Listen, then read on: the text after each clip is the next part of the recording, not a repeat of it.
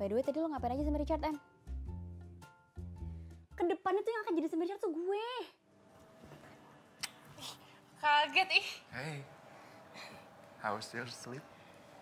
Kayak semalam aku mimpiin monster deh. Serem banget. Dari mata